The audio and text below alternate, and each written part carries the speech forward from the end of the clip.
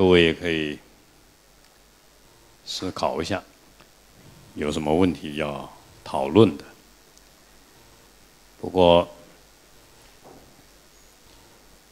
佛法，它应该像一种药，药并不是很好吃，啊，但是不得不吃，因为如果你有病，那学佛就是说要。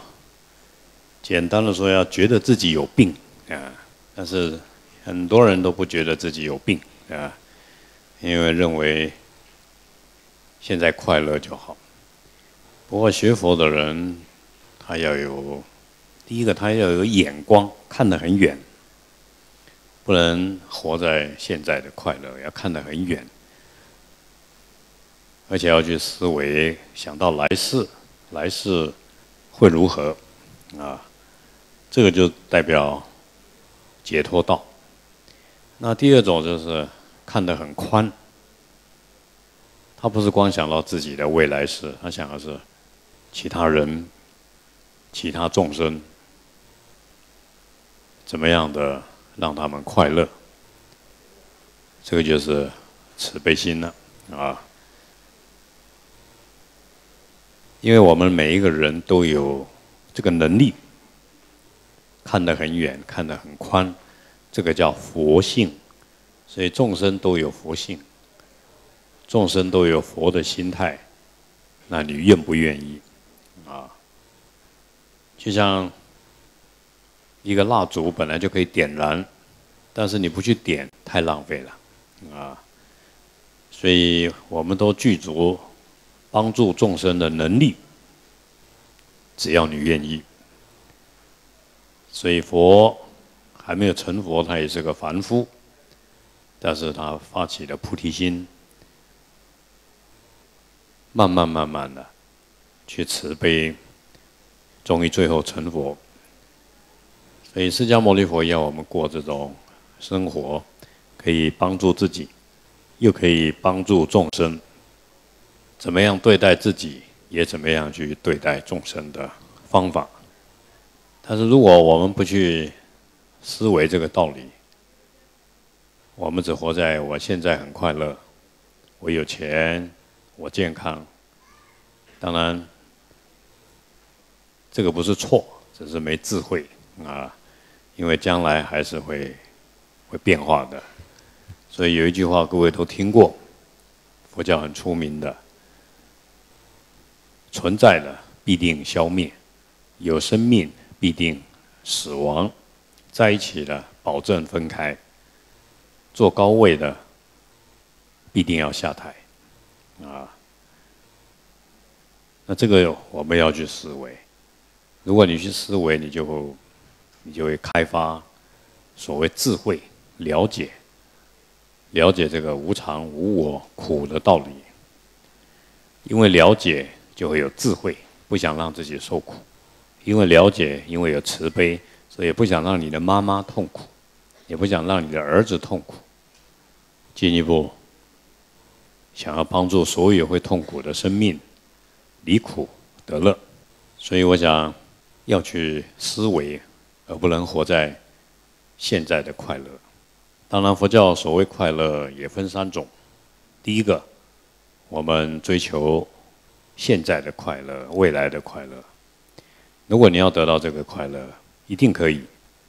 只要念下相信因果，相信轮回，善有善报，恶有恶报。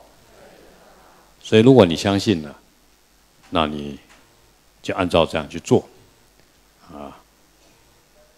所以怎么做呢？念下孝顺父母，尊敬师长。手持戒律，常行布施，啊，那这样你就会有世间的快乐。一个不孝顺父母的人，不可能来世会快乐，也不可能现世有福报，啊。简单的说，一个不懂得报恩的人是不会有福报的。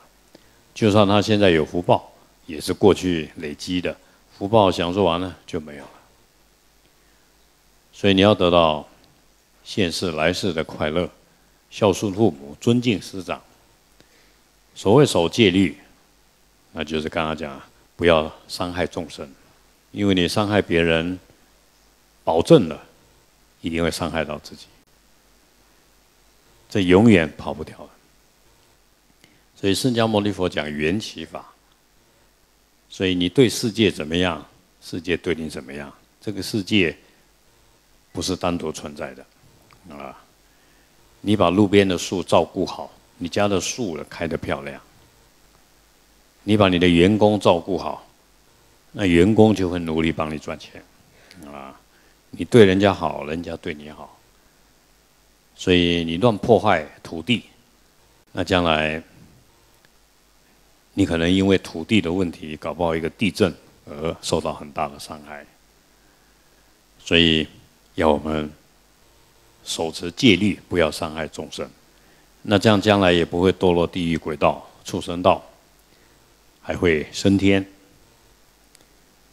再来布施，就是帮助了。就像各位今天布施水、布施灯、布施食物、布施钱、布施我们的功德，叫回向啊。那你布施什么，就得到什么。比如说你现在有时间去照顾独居老人，那你将来老了。一定有人照顾你，啊，这个很简单的道理。所以你要得到什么，你就布施什么。你经常肚子痛跑厕所，那你就布施厕所就好了。那佛陀讲了，你布施厕所以后，你永远不用跑厕所，不用拉肚子。你睡不着觉，那你可以布置床铺给人家睡觉，啊，你希望皮肤好。呃，布施肥皂、毛巾给人家，布施洗澡了，特别是给那些修行人跟可怜的人，啊，修行人我们叫敬田，可怜的人叫悲田，慈悲的福田。那我想一般人最因果最喜欢听了，啊，你要得到什么你就种什么，啊，就像我们今天布施这么多食物。那你生生世世开卖食物的，保证赚钱啊！因为你用布施，所以人家就喜欢到你的店来买。你布施衣服的人，那将来穿衣服漂亮，做衣服的生意很顺利啊啊！你布施课本的人，经典的人，将来很会读书啊，将来很有智慧。那我想每个人都关心自己。所以你就会应该去做什么样的功德，乃至你知道哪里不圆满。有些人说：“那我这辈子比较笨呢。”那你就去尊敬该尊敬的对象，尊敬有智慧的人。就像各位愿意坐在那边听佛法，这个叫尊敬有智慧的人。尊敬老师，我想每一个老师都希望你多问他一些问题，就像。释迦牟尼佛用我们多去问佛法，那你自然智慧比别人高。所以你要得到现世来世的快乐，在佛教叫人天福报，那你就要相信因果。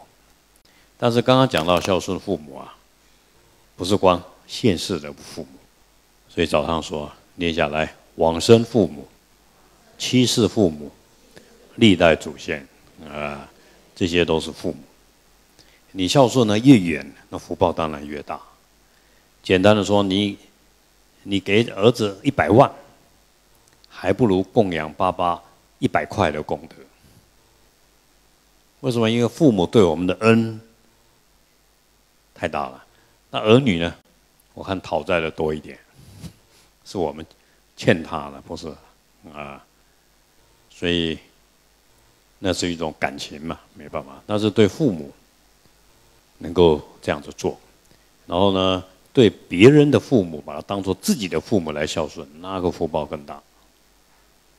啊，就像各位做太太的，对你的公公婆婆，啊，像自己的亲生的父母一样，那你福报就很大。啊，特别在佛教讲，你对讨厌的人都要对他好，那福报又太大了。所以佛陀说说忍辱的功德超过于布施，就这个意思吧。啊，那这一点就你自己选择吧。如果听闻佛法，你就知道这个道理，你也不用去羡慕别人。啊，人是自己命运的主宰。特别各位，你学佛了，要念经啊，要持咒啊，要声音好听啊。那你就不要骂人就好了，啊！但是你会说那个人很欠骂，那你自己决定嘛。你要骂人骂不完的，工人也可以骂，老公也可以骂，儿子也可以骂，可以骂到天亮的。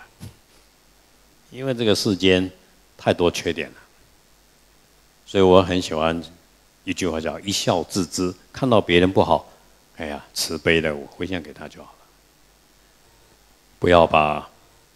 别人的不好放在你心里，然后吐在你嘴巴上，那你就太痛苦了，那会损福报。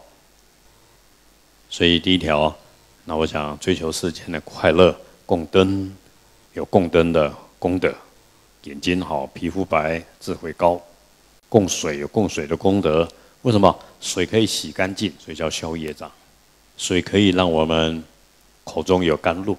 水也代表财进出的快，所以做生意的很喜欢在店门口摆两盆水会发财，啊，再来再摆一个镜子更会发财，反光，再来再挂个金幡，那发财更快飘，啊，这都真的哦，我不是开玩笑的，像各位后面挂这么多金幡，如果你希望你家里公司发财，就在公司的外面挂金幡。放水、挂金环、挂镜子，这些都是发财的方法。啊，不是说我挂个镜子，然后八卦，然后把那个鬼赶走，不是的。那个是你动机不对。我们讲的是正常的镜子啊。所以，当然点灯，像英国人很喜欢晚上在外面点个灯，用玻璃罩罩起来，亮亮的，这样很好。那中国人喜欢。晚上外面点个灯，啊，让行人走过去亮亮的。那这些都是一种利益众生的方法。那利益众生，那你就是帮助自己。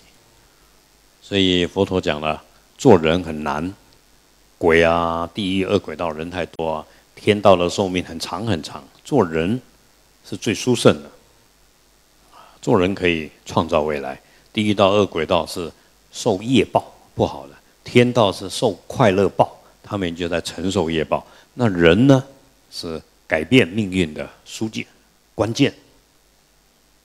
啊，那各位了解这个道理，那你要把握做人的机会，广修功德啊。那也为了生生世世的快乐，不要把烦恼带到下一辈子。啊，烦恼就是如果你喜欢生气啊，那你这一辈子就要把它断掉。不要把业障带到下一辈子，所以要要多忏悔啊，多忏悔。当然，忏悔有些人很会拜拜拜拜，痛哭流涕，但他不知道他忏悔什么。哭完以后照骂人，他只他只是想说那种哭哭闹闹，他觉得蛮感应的啊。我想我们要忏悔，你一定要知道我的问题在哪里。那想一想啊，过去跟爸爸。跟妈妈不客气哦，惭愧啊，哭啊，忏悔，我以后发誓不会再这么做了，而且我还要去弥补，要要对过去伤害他人，对他特别好一点啊。所以，而且忏悔要有力量，所以要靠着佛菩萨的力量啊。所以第一个叫惭愧力、改过力，我知道哪里错了；第二个叫依止力，所以我靠佛菩萨的加持啊。啊，第三个叫决定力，所以我不会再犯了。我说第四个叫对治力，所以我去点灯啊、放生啊，就消除那个业障。啊，当然对治业障最快的方法叫思维空性。那各位你可以读心经啊、金刚经，然后去了解里面的意义。啊，像我以前刚出家，我在。台湾的南部比这边还热，经常没有人，但是我很喜欢，我不太睡午觉的。我中午呢就在这边读经，那读累了我就打开录音带，很多法师的录音带，我这边听啊，然后在那边思维啊啊，然后呢一直让自己去学他的优点，然后他告诉我们的不好的，我们自己有没有改变掉？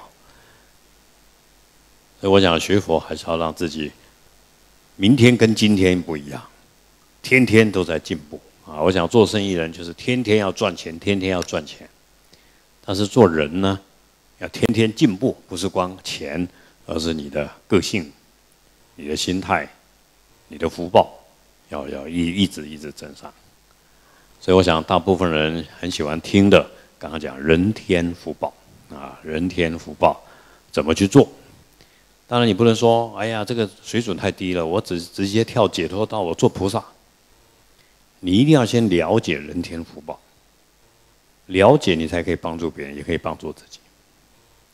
啊，怎么样发财？怎么样健康？怎么样有智慧？怎么样家庭好？怎么样事业美满？那菩萨更是慈悲，菩萨就专门在讲这个，要利益众生。所以今天有一本。可能上回发过了，今天会发给各位因缘果报啊，这里面讲了做什么行业好，做什么行业不好，啊，怎么样可以长寿，怎么样可以健康，等等。但是非常重要，什么叫菩萨？最高了就是把这个推给别人，那就是菩萨了。啊，把这个拿来自己用，那是有智慧，我可以改变命运。把这个。送给所有的人，推广给他，那就是菩萨在做的。所以要用尽各种方法。那当然，第二个要追求的，刚刚讲的是世间暂时的快乐，世间暂时的哦，不是永恒的。那第二个要讲的，念一下解脱的快乐。那解脱的快乐就是不去追求物质了。他讲的是心态。啊，内心里面没有这些欲望，也不会排斥，不会生气。就像各位今天所旁观在戒，也是在享受那种解脱的快乐。因为今天大家好像没有家庭一样，放下在寺庙里面。就像各位刚刚去点灯，唱点灯祈愿文，快不快乐？快乐。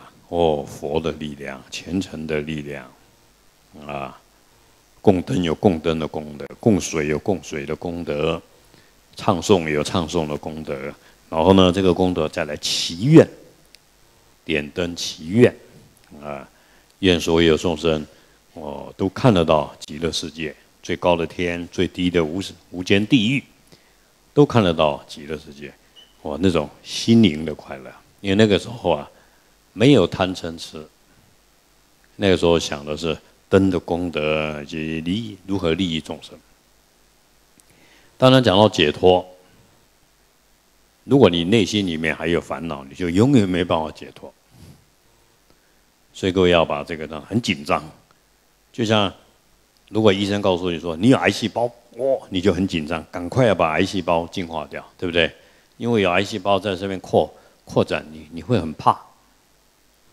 那同样的，我们修行人也要有这个出离心，不让自己有贪嗔痴，不让自己有骄傲、嫉妒、怀疑等等等等烦恼。什么叫骄傲？一般我们比较容易疏忽了。我条件比别人好，我就有一点操不已。这操不已不好听啊！我比别人好。啊，我希望别人看到我比他好，所以我表现我很有钱，表现我很漂亮，啊，那这个就是一种骄傲、慢、慢，这个也是个烦恼。像天道，天道的人就是很会布施，但是他有一个骄傲，看不起看不起人间的人，看不起三恶道，所以。这样他也不能解脱，那福报享受完了，他就堕落。所以，如果你要得到解脱，那直接最快的方法，金刚经》说了，来，因无所住。那各位要背下来，什么叫因无所住？那就对一切都没有分别执着。你骂我，我静静的；你你对我好，我也静静的。因为我不会因为你对我好而很快乐，你骂我而生气。啊，因无所住，健康也好，生病也好，都拿来修行。有钱也好，没钱也好，都拿来修行。啊。不会分别，我说我一定要有钱，我讨厌没钱；我一定要健康，我不要生病。就像做工作，工作没有贵贱，扫厕所很认真，希望大家都用到干净的。那你要学着不享受，就像今天八关斋戒，不能吃晚餐哦，不能看电视哦，不能照镜子哦，不能睡大床哦。那你才能够慢慢得到自在，因为你觉得这样也过得很快乐。啊，就像各位坐那个椅子是塑胶的，很便宜嘛。以后你们家客厅就换这个就好了。哎呀，解脱了，解脱了。但是菩萨不一样，菩萨要买最好的给人坐，对不对？但是对自己呢，随便。就像我刚出家的时候，我的几个师兄弟坐的椅子都没靠背，我就问他为什么不靠背？打坐啊，不能靠啊，不能懒啊。那他们这样，我也只好那样。他后来习惯了，原来这样也可以做，啊，不见得要靠。那故意的，因为刚出家，每个人都会故意的折磨自己，对不对？就要让自己能够不依赖那些享受。所以我出家以后，唯一最大的心得就不用吹冷气可以过日子，这样。啊，因为。因为出家人的地方哪有冷气呢？啊，特别我又调到横村，哇，四十度啊，每天光流汗就 OK 了，啊，那个时候已经觉得身体很好哦，每天流汗不用吹冷气，哇，太好了。那就慢慢有有一个解脱的生活，然后慢慢就有一个解脱的心态，因为那个时候的想法很简单，我只要能出家，我就心满意足了。啊，因为我们要出家有一点困难，所以什么都不用想啊，能够出家，哎呦，太幸福了！啊，早上三点二十就起床，然后准备三点五十到大殿，然后四点要做早课，啊，每天都准时要坐在那边等，啊啊，快乐！啊，因为想要修行，那时候觉得能够出家。哇，不被赶出寺庙，很好嘞。啊，呃，老婆不要派人把我抓回去就不错了，对不对？我我能够出家，幸福啊，对不对？穿什么衣服都没关系啊。我我我到南部去，穿的是冬天的衣服，天天热的要命，欢喜欢喜。啊，能够出家，哇，太高兴了。哎，所以我想。当然也不用故意虐待自己，但是各位，如果你要修解脱道，你要开始习惯，习惯需要就好，不要追求想要，这样就好了。慢慢的少欲知足，慢慢以后内心里面就没有这么求了。所以你现在有钱了，那你要想你没钱的时候是什么？这样就好了。没钱的时候，一个人晃来晃去。就就随便窝个可以吃吃路边的可以睡觉就不错了，对不对？啊，那你要养成那个习惯。所以老实说，我现在还是喜欢这个习惯。所以我只要一个人，我就随便吃。我不喜欢去大餐厅，大餐厅是陪人吃饭呐，没办法嘛。啊，因为信徒的大餐厅，要我我都喜欢一个人在路边，或者吃个便当，OK 了。啊，因为你要想好啊。你不能说，我像我这样，好像有一点知名度，人家对你好，但是你要习惯做乞丐，那这个时候内心就无所求，可以接受变化。所以我想解脱要有解脱的心，解脱的心，简单的说，就内心没有强烈的欲望，对痛苦的环境逆境，我们中国人叫逆来顺受，就是不生气忍住。而且呢，了解真相叫不愚痴。哎呀，反正存在的都是暂时的，都是假的，就随缘随缘。啊，那随缘不是随便，不做坏事，做好事，但是这个叫随缘。人来这个世间是来还债的，来了还债的，因为众生都是我们的母亲，我们是来还债的，而且呢，过去所结的仇人，一个一个在后面排队要找你麻烦，这个叫报冤型，所以人是要来被报仇的，来还父母债的，要这样。这个叫想法。如果各位你听我这样讲，你觉得有道理，你要告诉人是来还债的人，你要一直想啊，啊，所以别人欺负你的时候，说哦好啊，现在还多一点，啊，感情上、肉体上、金钱上，任何找你就你就很高兴，还债还债。所以修行的修就是思想改变了，引导你的行为。以前你会生气了，现在不会生气了。所以，我认我认为年纪越大越有体悟，对不对？所以各位一定要给自己很多机会去磨练那个痛苦，去磨练很多变化无常的世界。你要故意的，你不能逃避。哎呦，那个我很怕，那个我不熟悉，我不想接近，那你就不容易去磨练。啊，你要磨练你自己去面对，就像你很怕鬼，很怕黑暗。那你今天晚上就一个人要坐在海边，阿弥陀佛。你要一次两次，先五个人去，然后变两个人，最后一个人，你就一个人。那那个时候你就不怕了，啊，因为你有一个怕，那就没有解脱。那你越怕的，这些冤亲债主就会找你怕的地方去找你麻烦，会让你颠倒。所以最高的解脱是空性的，根本没有。这个世界一切都是假的，就像做梦里面的，没有一样是真的，这个如幻如化的这样而已。所以没什么好贪，也没什么好计较，啊，而且都知道说来就是痛苦。各位做人是快乐还痛苦？应该说又快乐又痛苦的，啊，虽然有一点快乐，但是那种快乐是假的，不长久的，但是痛苦。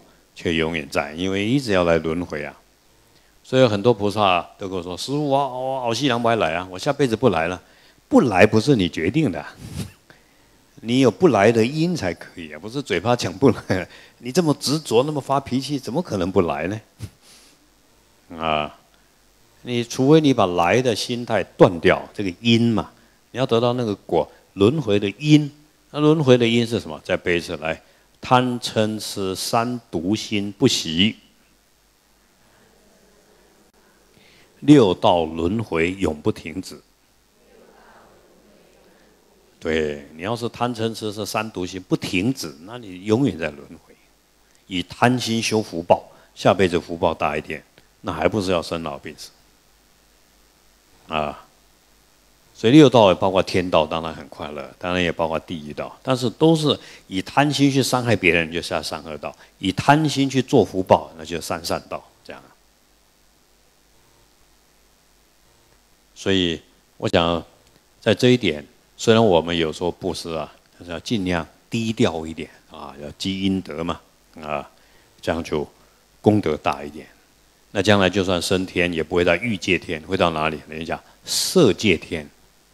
那个色界天啊，那种快乐太好了，不用吃东西，没有男女的欲望，光享受的是很好的声音、很好的景色，没有所谓家庭的问题，啊，住的都是透明的、透明的，哇，像水晶一样，没有所谓好天气、坏天气，都是最好的这样啊啊，但是他没有人际的。压力没有人际的压力，玉皇大帝还有我太太，我太太，对不对？玉皇大帝还必须跟阿修罗打仗，这样啊。但是如果你升到更高的天，叫色界天，连身体都没有了，啊，他只有一个心灵，他享受那种心灵的禅定。但是这个还有一个我在享受心灵的禅定，就像各位打坐，打到后来，哎，没有身体了，都不会痛了，内心好清净，这有一点接近了，有点接近。啊！但是毕竟你不可能永远啊，因为你你最后还是会醒过来，就像你打坐，最后还是要下来，不然你受不了。啊！所以我想，解脱的快乐，佛教叫念下来，涅盘极境。对，那你能够涅盘极境，是因为你已经体悟了，诸行无常，诸法无我，有受皆苦。你已经知道了，存在的都是变化的，没有永远的。啊，在一起都会分开的，而且任何东西都是假的存在，没有永恒的我的。所有你想追求的都会痛苦的，有求必苦，叫有受皆苦。人为什么感情痛苦？因为当初爱的很深呢，所以你现在就很苦啊，就这样而已。啊，有求皆苦，所以各位都会背了，来念一下：爱河千尺浪，苦海万重坡。爱叫千，苦叫万，你看。啊，你爱五分钟，要苦五年，你看。啊，所以有时候自己要要去体悟，所以那种爱是吸毒。如果有人拿一个苹果说这个有毒，我才不要。啊，今天呃跟你说你生一个儿子哦，好啊，要死一个儿子哦不好，稳死的你当初要生怎么没有想到呢？啊，你爱一个人，将来一定分开的，迟早问题。所以这一点我们要看清楚，不要被骗了，不要被眼前所看到、所感受到的骗了。它只是一个假象，那是一种眼睛的分别啊，眼耳鼻舌身意对色身香味触法产生眼世界要分别。讲到这个就要打瞌睡了，所以这个就要跳过去。这样。但是各位，如果你真的要解脱，你还是研究啊，啊，去。思维，所以一个要有一个解脱的心，就是要空性。所以各位要思维空性。那你要好好想一想，呃，就像那一天我带一位新加坡的算有钱的大老板，那那一天我们去老人院，那新加坡最大的老人院，然后去了老人院，我就看他脸一直变，因为他没有去过，啊，我就问他一句话。老板，床位找好没有？哪一天换你来住呢？啊？我说对呀，我给他告诉他一句话：白忙一场，有钱没钱都躺在那边，有一些已经啊这样啊，最后都是这样子的，白忙一场。里面有马来人，有印度人，有我们华人，都是一样的。再有钱也是啊，对。那不是白忙一场是干嘛？他回去就想通了。所以我这次要新加坡，他说：“师傅，工厂一半不用了，做佛堂。”我们想，哇，这下工大了大了，那工厂很大，又在海边，刚好可以放生。啊，他本来要做很多，他现在不必了，不必了，因为你以前没想过这个问题啊，转转转转转转，对不对？大老板大老板一直给讨给讨给，哇，很快乐。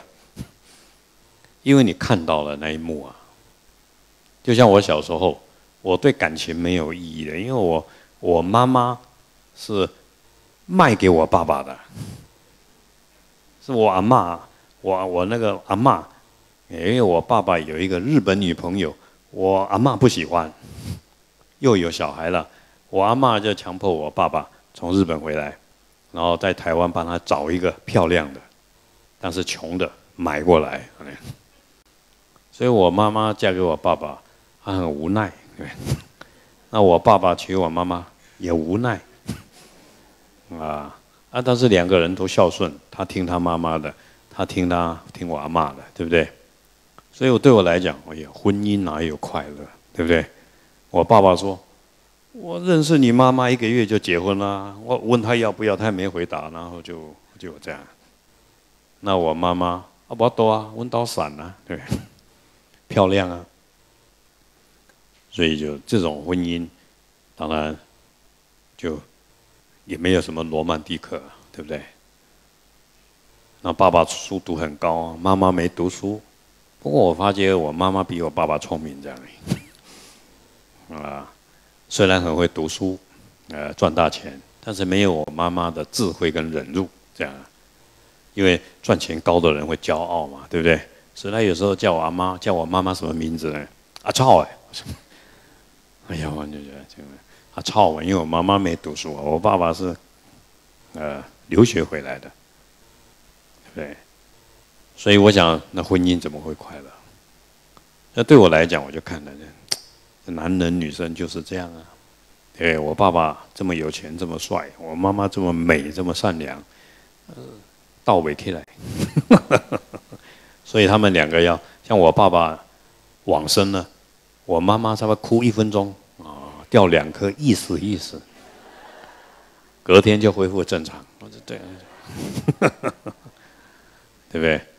因为我把我爸爸妈妈拆开啊，拆开，一个住那边，一个住那边，反正两个一辈子这边讲来讲去，对不对？我们做儿子的都要听，他还讲那不好，他讲那不好，我就两个分开，就是这个就是婚姻，所以我对婚姻，这就是我看到的真相。啊，爸爸妈妈都很好，都对我们好，都很优秀，但是他们没有感情的快乐，可能是一种依赖吧，不能说没有快，但是就是啊，对吧？那样啊，没有那种罗曼蒂克，对吧？因为不是谈恋爱的，对不对？所以温老布点来讲。就为了你们几个，我才留下来。哦哦哦，对不对？妈妈都这么说，呃，但是也因为这样，我们这些小孩子就比较优秀，啊，所以因为会忙的这个事情，啊，把事情看得比较清楚一点。所以我想各位这一点，有时候你要你要去思维，啊，你不要有个侥幸的心态，说这个世间还有什么是快乐的。没有，你要一直想，想到后来没有一样可以快乐，哪一个不会变化？哪一个不是苦的？哪一个可以掌控的？这些你真的要想清楚。所以各位没事要到观音庙来或者海边走，你海边走，人家以为你要自杀，所以还是来这边好了。你走来走，你一个人干嘛要自杀？我在思维真理嘛。啊，那你要到寺庙。所以我以前在家。我很喜欢一个人坐在大殿，因为我开始想要思维，后来想要出家，我都一个人。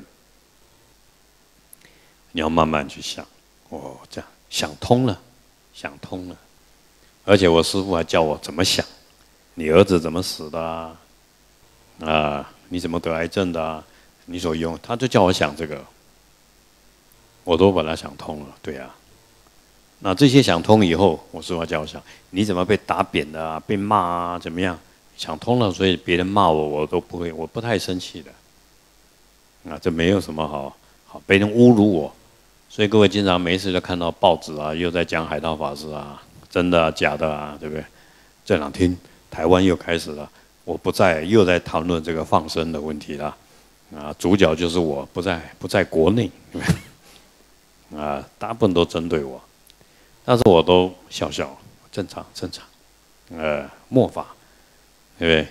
那因为每个我们要尊重每个人的思想，因为他们看的跟我们佛教看的不一样，对不对？世间人看的是环保生态，我们佛教看的是父母，哎，对不对？你你多杀一只生命，这个世间就多一个灾难。若遇世上无刀兵劫，除非世人不杀生，对不对？那你无论我们放生。总有一两只会死掉，那大部分是活的。它是站在环保啊、生态啊，它它是有限的观念，它不是就近的道理，它但是它是世间的道理。所以你要讲就近的道理、智慧，那是少数人才有机会了解的，大部分人没办法理解。所以你也要对不能够理解的产生悲心，希望有机会跟他们说，虽然不能说，要这样做来。法会功德回向所有不了解放生功德的人啊，早得理解，这样还不够哦，还回向说？回向他们历代祖先、七世父母同享功德，然后他祖先晚上就会跟他说啦。所以各位这个重要，这个人骂你骂你，你不要生气。都回向给他祖先、妻世、父母、冤亲债主，对不对？然后他的家人得到功德，他的爸妈得到功德，奇怪，他们就替你讲话。啊，你要相信，因为我们佛法不是光人，还有祖先，对不对？啊，所以叫祖先积阴德也会给儿儿女好处，但是嗯，不用生气，啊，我们只能说是正常，更努力，做得更好就好了。好，所以第二个讲的是解脱就近的快乐，来自于你的心态。第一个快乐讲的是大部分讲的是物质的肉体的环境的快乐，出生在好环境，但是真正的快乐是心灵的快乐。那心灵的快乐不是说我在谈恋爱啦，我暴富了。心灵的快乐是不起心动念叫快乐，啊，佛教的快乐是没有痛苦才叫快乐，了解吗？啊，佛教没有真，因为你世间所有的快乐都会变化的，你去追求怎么会快乐？就是欲望的停止，没有痛苦，所以叫快乐。你每天运动，很怕自己得癌症，你永远不会快乐。你哪一天觉得？身体得癌症，随缘随缘，我内心平静就好，那才叫解脱嘛。啊，不然不可能，连佛陀都会生病的，对不对？佛陀也病得要命啊。但是佛陀的内心是在一种禅定的、无我的，根本没有身体，也不是我的，啊，也没有一个我在生病，那有什么好痛苦的？我们现在就觉得我的脚在酸呐，我的儿子不孝顺呐，所以你永远不快乐。问题是连我这个东西都没有，哪有什么我的儿子？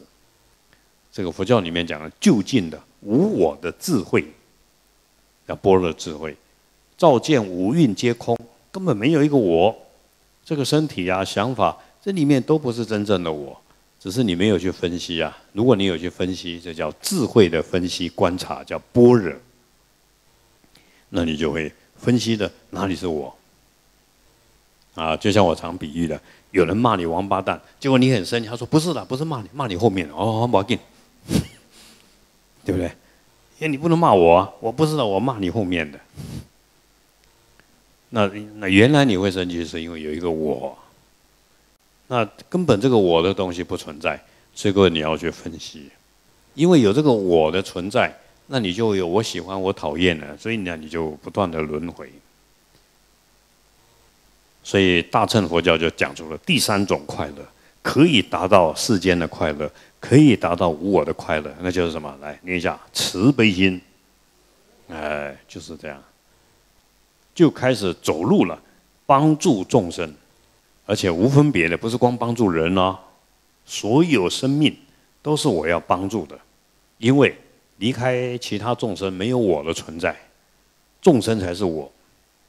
没有空气，我们不能活，所以空气才是我；没有你，我不能活，所以你才是我。啊，不要站在自我，而是站在对方去做。那你经常去去帮助众生，又能够减低自己的烦恼，所以叫六波罗蜜。念一下：以布施度千贪。那你去布施，就可以把我这个贪欲消除掉。你去布施，还可以真是帮助对方，还跟对方结缘。你去布施，将来还得到更大的福报。第二来持戒度毁犯，就像各位今天守了一天八关斋戒，最主要的目的要把害任何众生的心态断除掉。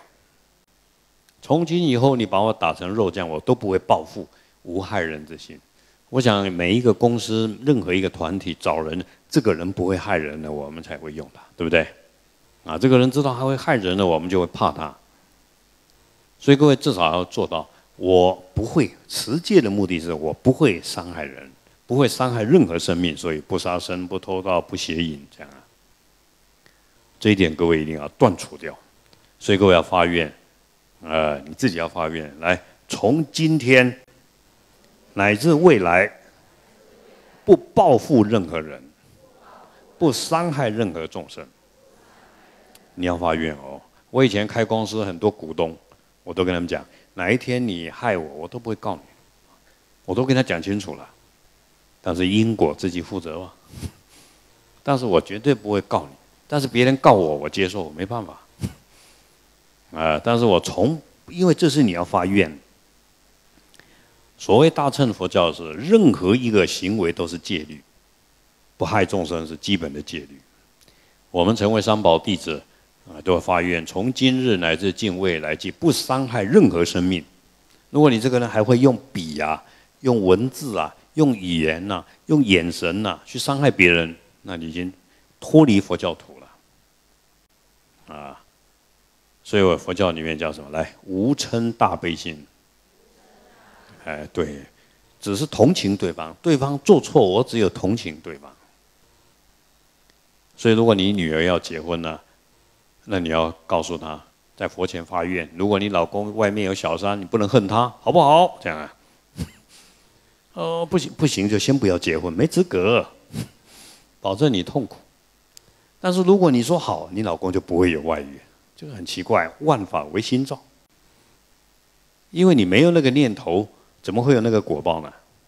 但是如果你每天很怕，很怕。我要想办法抓住他，我要化妆好，我要调查他，哦，他保证发生，因为你的心态造成这个事情。所以大乘佛教为了要利益众生，要自利利他。刚刚讲了，人天福报是利益自己，啊，透过别人利益自己；解脱道是关心自己，不要轮回。但是菩萨道呢，又关心自己，又关心众生，不是光人哦，所有众生。啊，就像人告诉我说：“海涛法师，你们放生放鱼可以，千万不要放毒蛇。”那我说：“那毒蛇怎么办？毒蛇也是生命啊，不能乱放，但是要找到它本来不会伤害人的，要花一点功夫，这样可以了。但是你千万不能说不要放，都不能讲。好人坏人都要度，所以我们经常影响很多地方说不要判死刑啦，尽量给对方机会啦，活着就是机会啦。啊，佛教当然不希望判死刑，啊，但是死刑是一种报复，哎，对不对？死刑是一种报复，而且死刑犯在判死刑，那个受害的家属还要去看看他被杀死，这个是非常不好的事情。如果你没有判他死刑，你还少一个敌人；你判他死刑，他死了以后就来找你，这样我都讲给他听。他说是啊，我说你无期徒刑好了。所以很多法官也不敢啊，干脆不干了。我判他死刑。他还找我麻烦，我说对呀，我判他死刑，他做国会长我，说对呀，不能他找谁？找家属又找你，是你判的死刑。啊，放下屠刀立地成佛，杀人犯央劫摩罗都可以成佛的。那当然要给他讲道理，所以各位至少你要做到布施啊，看到别人可怜，我要帮助他，但是我原则上绝对不会伤害别人。这点要注意，因为包括我们出家人，我师父常讲，出家人也会伤害别人。如果你没有很好的一种因果观念、空性慈悲，你可能会利用佛教的一些东西，去去伤害到别人。啊，那如果你知见不正确，也会伤害别人，对不对？啊，这个法门好，那个法门不好，那你会伤害到佛法。所以佛教里面叫毁谤佛法，要下无间地狱的。释迦牟尼佛讲的人天福报、阿含经也好，大乘佛教各种的秘法都是佛法，你不能诽谤的。你不能说我喜欢这个。呃，有一次有一位出家人生病了，那我说：“哎，我我带一位上师来帮你修施身法，会好的。密宗的我不要，会花给。”他马上就骂：“我知道，完蛋了，他这下病会更严重，因为他是佛法，可以帮助别人。”我我这个人我没有分哪一个教派，只要是帮助众生的我都学啊，啊，因为你要学菩萨道，那你要你要想办法帮助众生，对不对？世间的世俗疗法可以好，你也要学啊，你不能说这不是佛法，啊，那你就不用吃药了啊。所以，哎，背一下，如果你要行菩萨道，可以帮助自己，又可以帮助众生，但是菩萨道这种。快乐叫什么？来，慈悲的快乐。那这个慈悲的快乐变成永恒，永恒，这才是我们的生命。生命不是这个啊，生命是慈悲。啊，当你要达到圆满的慈悲，你你要把那个我消除掉，叫空性。所以佛教里面讲的悲智双运，嗡嘛呢叭咪吽，智慧与慈悲啊，永远。所以这个肉体是假的，但是。我们的生命变成嗡嘛呢呗咪吽，慈悲与智慧，这样就好了。做猫、做狗、做鱼、做鬼，都是在实践慈悲与智慧。智慧就是不执着我相、人相，我做猫、做狗、做男人、做女人都没关系。今天要投胎做天主教徒，OK，啊，因为如果你有悲心，你就要去投胎在那边嘛，去帮助他们，啊，但是你不执着外表形象，它只是一个假的，但是去那边帮助他们，啊，就像各位现在在华人世界结了很多善缘，有金钱的福报。那你要发愿投胎到非洲最贫穷的地方，做穷人的小孩，但是你过去是有跟华人结缘的，所以你就有机会，呃，请这些华人去帮助非洲人。但是如果你没有过去这个缘，也不行，啊，那你想说啊，头太黑黑的我才不要，那你就以执着我相，那你就不能做菩萨。所以慈悲的快乐就要达到，为了利益所有众生。所以我永恒的目标要成佛，但成佛以后不是停止了，成佛以后叫大轮回，你就天天在利益众生这样。啊，但是这个利益众生是苦的，你在受苦的当中，在轮回里面去利益众生，这就是地藏王菩萨的精神。所以在念一下地狱不空，誓不成佛。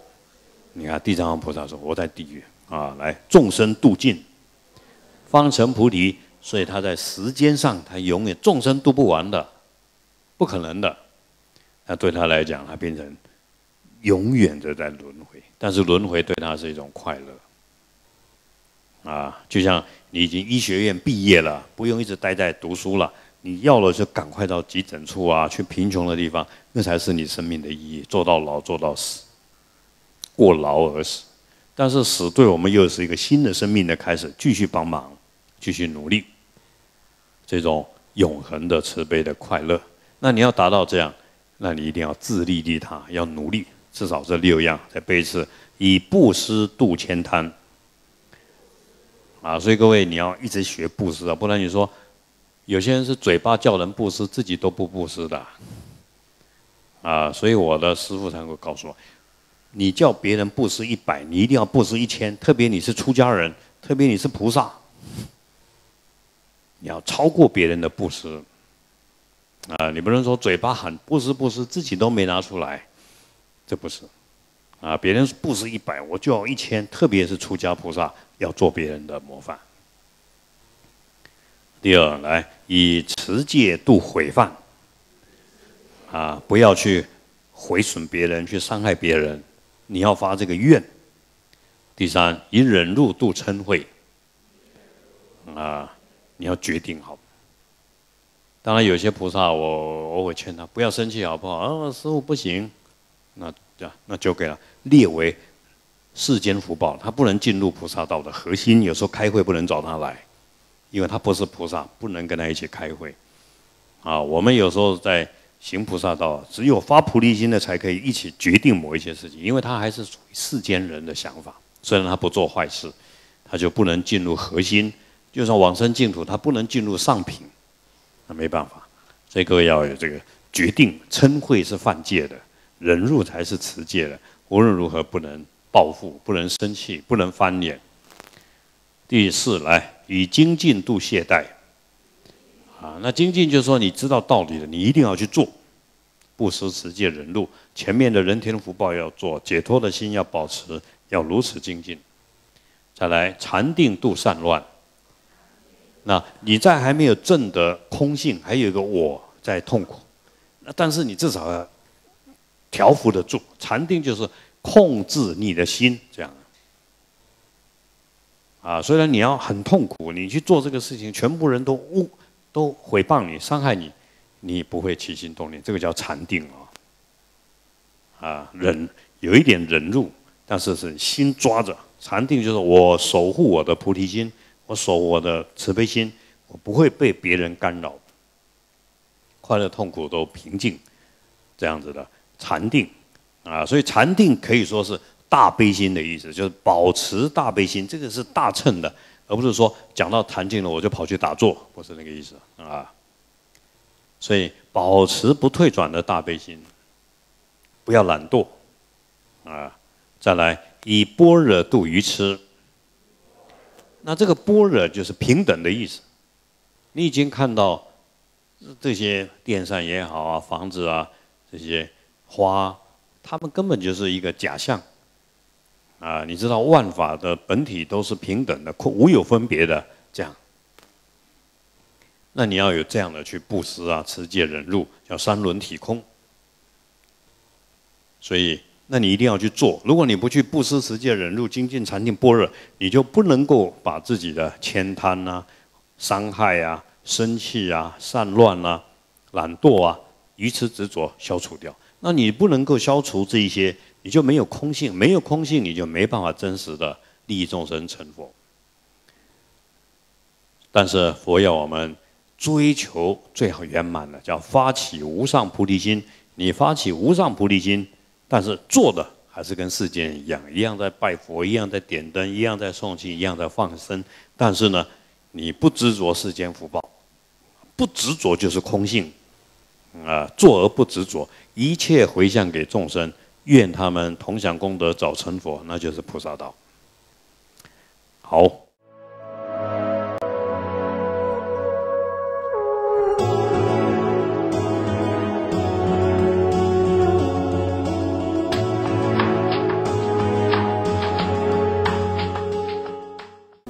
打开生命电视台，就是打开您的心。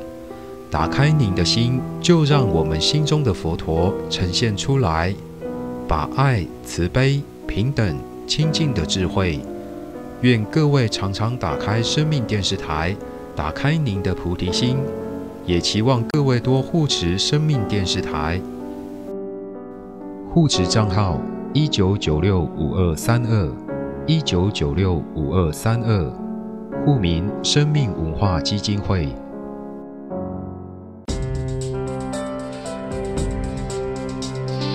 开头花酥。